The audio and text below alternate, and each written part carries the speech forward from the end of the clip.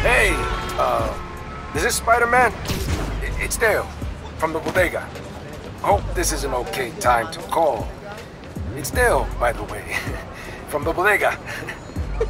Hey, Dale. What's up, man? Hey, listen, Spider-Man. My Spider-Man, you know, my cat, took a liking to you. Oh, yeah? I like him too. Good cat. So, you know, I just wanted to say, if you wanted to come by and hang out with him sometime, or like take him for a walk or a swing or something, you know, that, that'll be okay, is all I'm saying. For sure. I'd love to chill with him. Thanks, Dale. Oh man, that's great. I'd love, I mean, he'd love that. Gonna tell him now. You're a good one, Spider-Man. See you soon.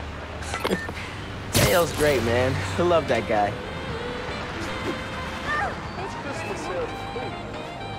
Hey, good to see you. Been telling everyone how you saved Spider-Man.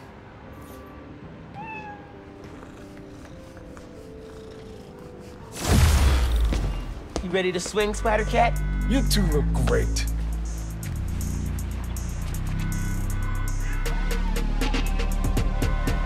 Get out there and stop some crimes, you two.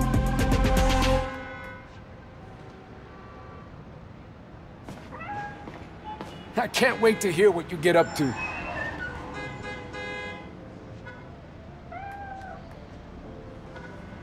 Oh, hey, careful about hairballs. They can get nasty. Oh wow, Spider-Man! I gotta go look down for you.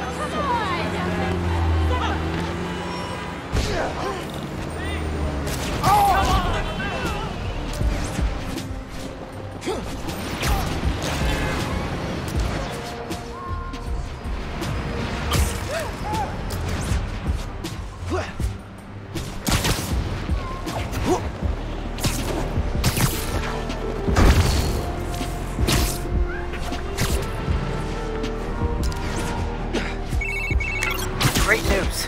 Roxxon's prototype labs in Manhattan are kaput. And so are their reactors. Finally!